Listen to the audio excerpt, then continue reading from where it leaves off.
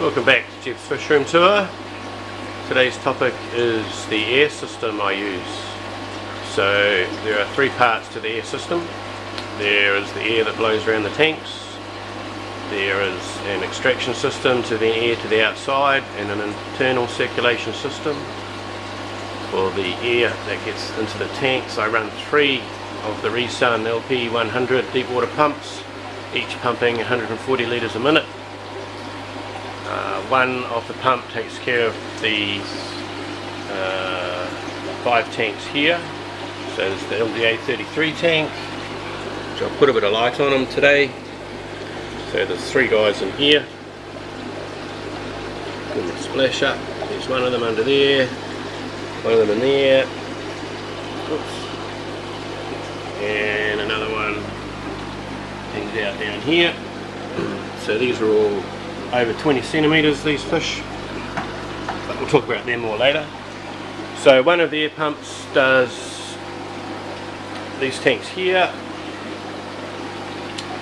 Uh, one does the 18 tanks down the end that all run on HMF filtration systems.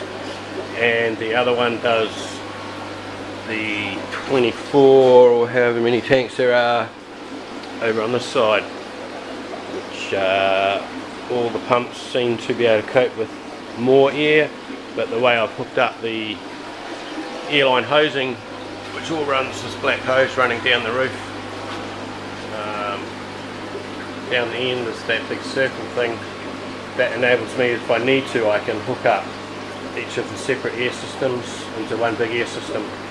Uh, so if one of the pumps breaks I can keep everything going until I get another pump in up here in the roof is the giant fan. Uh, this is the internal circulation. It's all run on timers, so it kicks in kind of when it needs to. So this one's function is to primarily just keep the air circulating throughout the room. Um, at the other end of the room,